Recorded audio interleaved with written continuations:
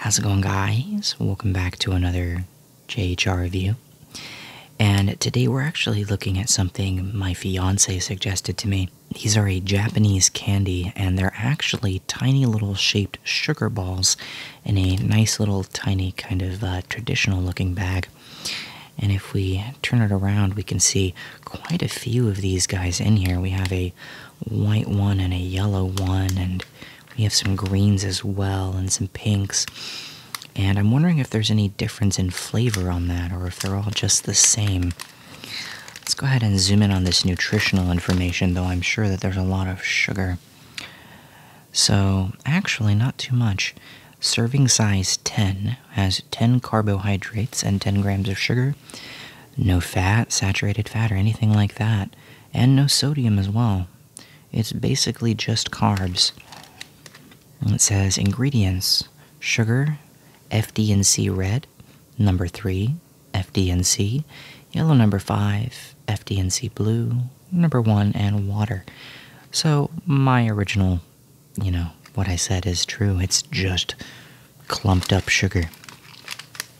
So, without further ado, let's go ahead and unbox this thing because I'm really interested to kind of see what these taste like.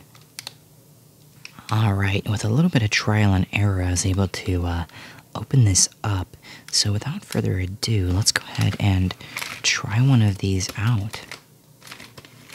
So, first, let's go ahead and try the white one. Let's go ahead and zoom in on it real quick because these are really interestingly shaped. Pardon my fingers. Like I said, I've been working in my garage, so not much I can do about that right now. Very interesting. Let's go ahead and try it out.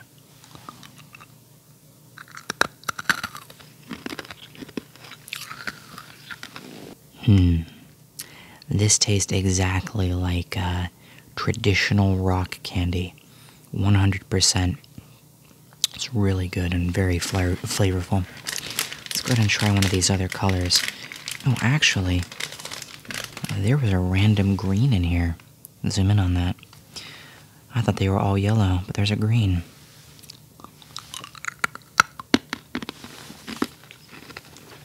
So, what I presumed was correct. These are all of the same flavor.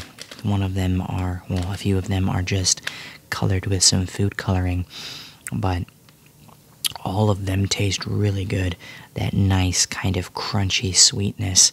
It is, uh, it is definitely a sugary snack, but it just reminds me of uh, my childhood with those kind of um, on the kind of stick, kind of like a lollipop, except the uh, rock candy at the end.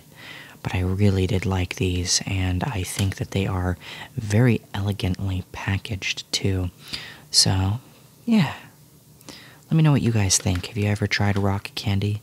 Something that you would like to try, or do you think it's just too much sugar? Let me know in the comments below. A huge shout out to my Patreons. Thank you guys so much for your support. You guys are awesome. If you enjoyed this video, don't forget to comment, rate, and subscribe. And as always, I'll see you in the next video.